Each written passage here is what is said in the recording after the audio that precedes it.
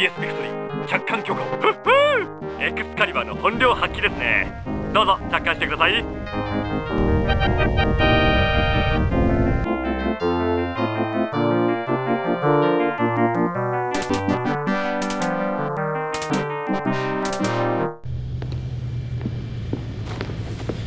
ひどいじゃないですか大佐。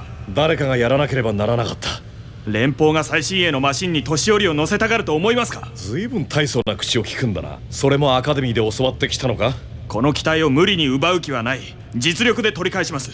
9時にシミュレーター室で決着をつけさせてください。本当の実力がわかるのは敵を相手にした時だ。よしいいだろう。本当の実力がわかるのは敵を相手にした時だ。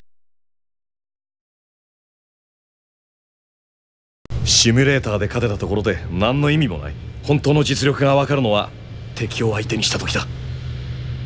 じゃあ永遠に決着はつきませんね。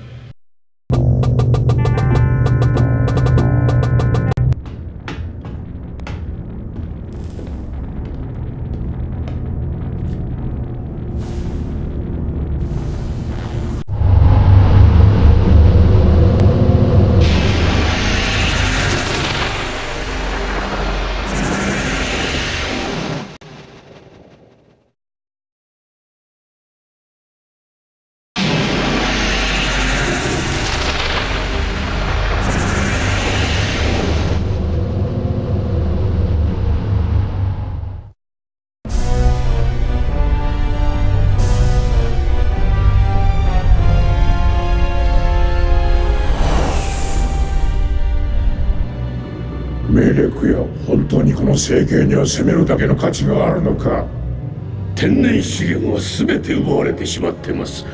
残るは奴隷の労働力だけですがこの政権の人種はどうやら奴隷向きではないようです。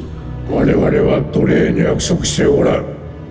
この政権は地球人にくれてやれ。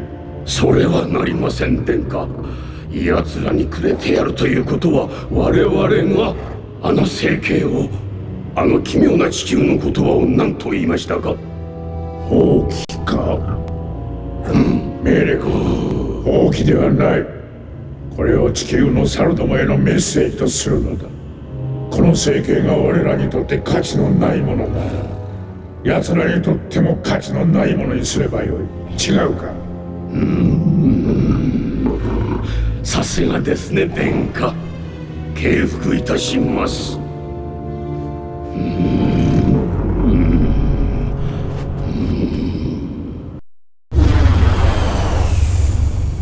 もうちょっとマシなところに移りますよ。人生楽しまなきゃね。